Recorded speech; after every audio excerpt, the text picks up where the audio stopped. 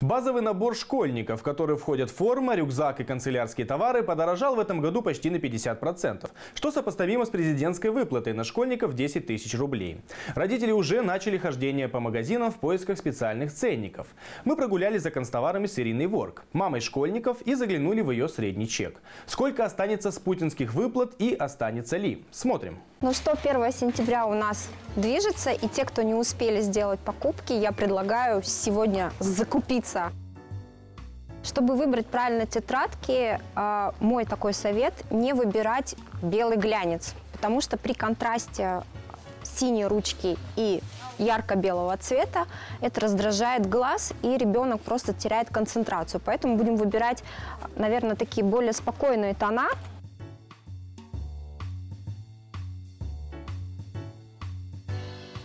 А вот давайте еще фломастеры я вам покажу.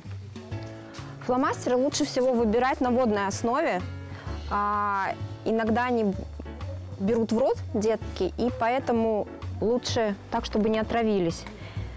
Так, хороший производитель это Брауберг, Эрик Краус советую, чтобы можно было еще и отстирать потом вещи. Карандашики для рисования лучше брать, как вам показать, либо вот такой формы, либо круглой. Есть еще вот такие, но они могут травмировать палец, и ребенок долго держать не сможет. А, нет, я не те показала, вот эти вот. Они как треугольной резьбой идут. Вот. Вот такой будет, скорее всего, неудобен. Как выбрать рюкзак? Объясняю. Если начальная школа, э, у детей э, заполняемость рюкзака должна быть не более 10% от массы самого ребенка. Ширина лямки должна быть 5-6 сантиметров, э, а сзади должна быть обязательно жесткая вставка, чтобы распределять вес.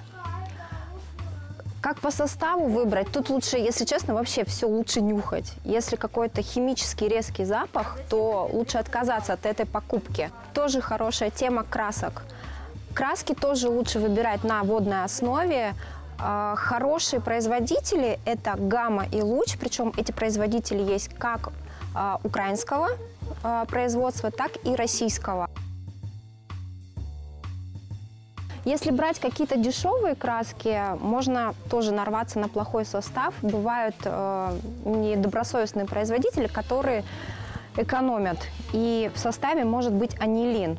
Э, при вдыхании или даже просто испачкать руки, это будет достаточно, чтобы получить отравление центральной нервной системы.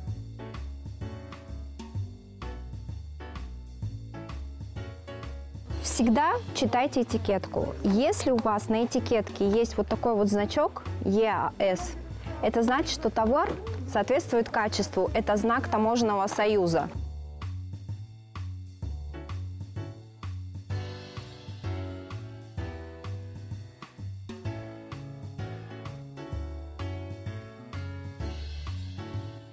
Нас общая корзина вышла на 6231 рубль, но я думаю, что нам все равно придется докупать тетради.